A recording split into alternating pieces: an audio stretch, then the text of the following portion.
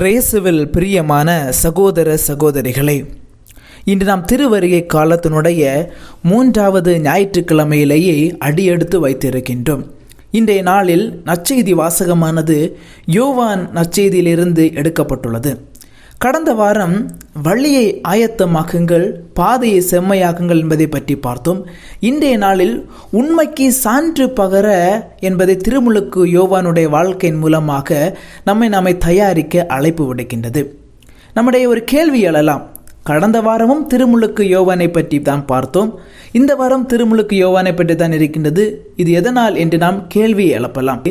Christmas யாருக்காக கொண்டாடப்படுகிறது என்றால் திருமுழுக்கு யோவானுக்காக அல்ல மாறாக இயேசுவினுடைய பிறப்பிற்காக நம்மை நாமே தயாரித்துக் கொள்வதற்காக இந்த கிறிஸ்மஸ் ஆனது நமக்கு தரப்பட்டிருக்கின்றது.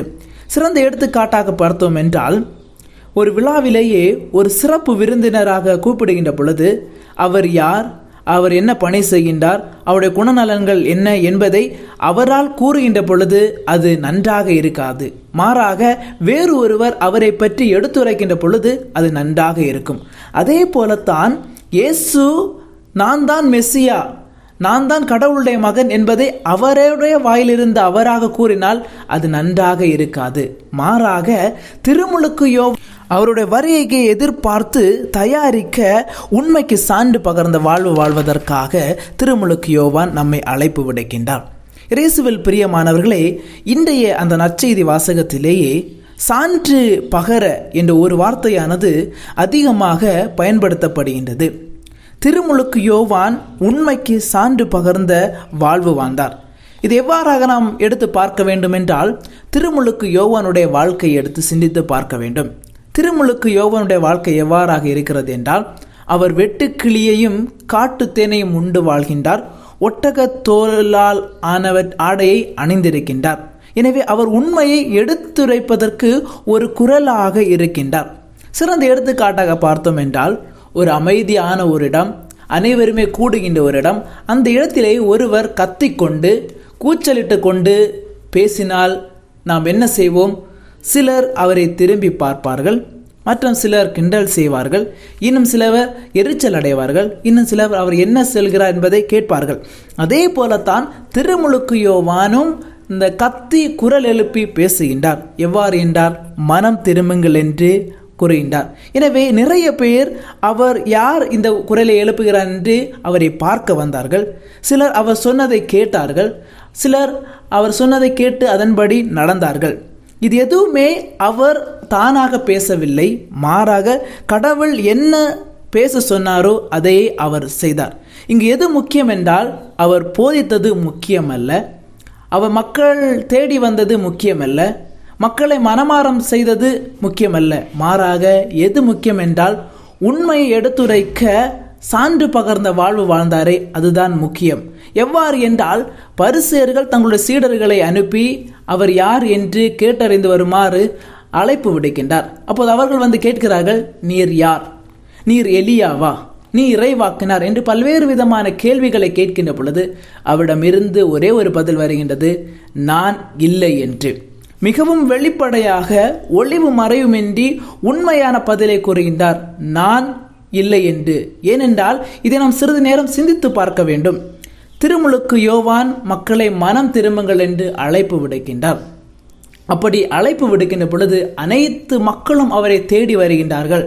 அவருடைய கூறுகின்ற வார்த்தையிலே ஏதாவது ஒரு உண்மை இருக்கின்றது ஒரு சக்தி இருக்கின்றது அதை ஏற்று மண் நிறைய மக்கள் மனம் திரும்பி திருமுழுக்கு பெற்றார்கள். அப்போது திருமுழுக்கியவன் அனைத்து மக்களையும் கூட்டிக் கொண்டு நான் மெஸ்ஸியா நான் கடவுளின் மகன் என்று அவர் எடுத்துரைக்கலாம்.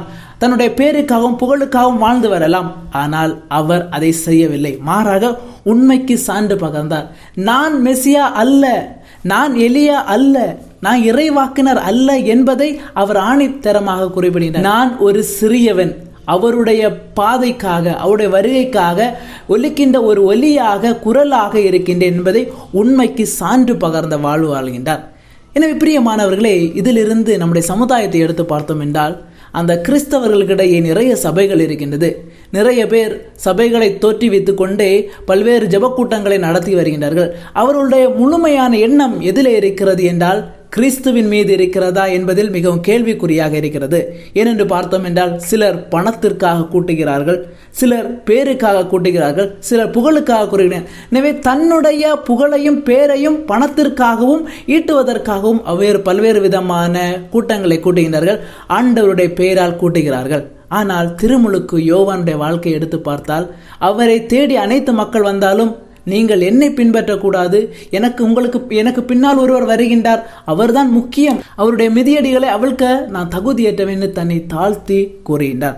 எனவே பிரியமானவர்களை உண்மைக்கு சான்றி பகர்ந்த வாழ்க்கை வாழ நம்மை அழைப்பு விடுகின்றது. அதற்காக இந்த திருவரியை காலமானது நமக்கு தரப்பட்டிருக்கிறது நாம் எவ்வாறாக வாழ வேண்டும் என்றால் முதலாவதாக திருவரிகை காலத்திலேயே நாமே நம்மை தயாரித்துக் கொள்வோம். சிலர் நோன்பிருப்பார்கள் சிலர் ஒருத்தல் முயற்சிகளை ஈடுபடுவார்கள். அப்படி இருக்கின்ற பொழுது பிறர் நோன்பிருக்காத பொழுதும் ஒருத்தல் முயற்சி செய்யாத பொழுதும் நாம் குறு இப்படி கூறக்கூடாது. நாங்கள் நோன்பு இருக்கின்றோமே நாங்கள் ஒருத்தல் முயற்சி மேற்கொள்கின்றோமே அவர்கள் செய்யவில்லை என்று நம்மை நாமே பெருமை பாராட்டக்கூடாது. இரண்டாவதாக பிறர் நம்முடைய தவறுகளை கண்டு தீர்த்தம் செய்கின்ற பொழுது அதை மன அமைதியோடு ஏற்றுக்கொள்ள வேண்டும். அப்படி நாம் தவறு செய்யவில்லை என்றாலும் அதை பணிவோடு அவர்களிடம் எடுத்துரைக்க வேண்டும். மூன்றாவதாக குடும்பத்திலேயே அந்த அதிகாரம் என்ற ஒரு திறனானது இருக்கக்கூடாது. ஒருக்கொரு ஒருவருக்கொருவர் பணியாளராக இருக்க வேண்டும். நான்காவதாக நல்ல செயல்களை நாம் செய்கின்ற பொழுது அதை நான் தான் செய்தேன் என்று விளம்பரப்படுத்தவோ தம்பட்டமோ அடிக்கக்கூடாது. ஐந்தாவதாக நமக்கு கிடைக்கின்ற பொழுது அதை பணி கிடைத்த பிறகு அதை பணிவோடு நடந்து கொள்ள வேண்டும். கிடைக்காத போது பொறுமையோடு ஏற்றுக்கொள்ள வேண்டும். ஆறாவதாக ஒளிவு மறைமின்றி நம்முடைய வாழ்க்கையானது இருக்க வேண்டும். எது உண்மையோ அது உண்மையை நாம் எடுத்துரைக்க வேண்டும். எது தவறோ அந்த தவறை எடுத்துரைக்க வேண்டும். இரட்டை வேடமாக நம்முடைய வாழ்க்கையானது இருக்கக்கூடாது. ஏழாவதாக அதிகார வர்க்கம் சமுதாயத்தில் தவறு இழைக்கின்ற பொழுது அதை பார்த்து கொண்டு கை கட்டி விட்டு நிற்கக்கூடாது. மாறாக ஏழைகளுக்கும் குரல் கொடுக்கின்ற ஒரு குரலாக இருக்க வேண்டும். அதைத்தான் திருமுழுக்கு யோவான் தன்னுடைய வாழ்க்கையிலே வாழ்ந்தால் உண்மையை சான்று பகர்வதற்காக ஒரு குரல் ஒலியாக இருந்தார். எனவே இந்த திருவரிய காலத்திலே நம்மை தயாரிக்கின்ற பொழுது ஆண்டவருடைய வருகைக்காக காத்திருக்கின்ற பொழுது நம்மை நாமே உண்மைக்கு சான்று பகர்ந்த வாழ்க்கை வாழ்வோம். இவை அனைத்துமே வாழ்கின்ற பொழுதுதான் கடவுளுடைய பிறப்பானது நம்முடைய வாழ்க்கையிலேயே ஒரு முக்கியத்துவம் அமைகிறது. எனவே இந்த ஒரு வாரத்திற்காக தொடர்ந்து மன்றாடுவோம். கடவுள் நம்மை நிறைவாக ஆசீர்வதிப்பாராக. ஆமேன்.